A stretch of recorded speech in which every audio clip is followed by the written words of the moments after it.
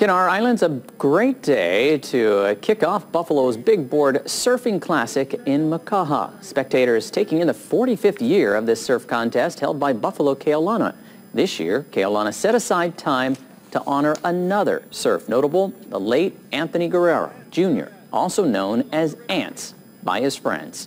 Lawmakers also came out to present the Guerrero family a certificate to honor his contributions to the Waianae Coast community.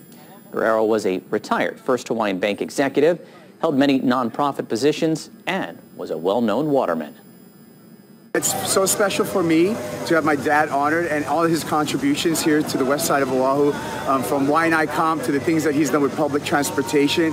It's touching to me that he's impacted so many lives, and I'm really, really proud of his accomplishments. Tony Guerrero died last year at the age of 76. The Makaha resident is survived by his wife, Haunani, children, Kaipo and Kawi, and three grandchildren.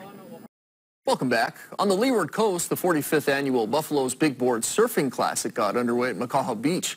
And today, legislatures recognized three people for their contributions to this close-knit surfing community. Joint House and Senate certificates were presented to the late Anthony Ants Guerrero, Richard Buffalo, and Momi Keaulana. Lawmakers say their legacies have built a stronger community in Makaha and embody the true spirit of aloha.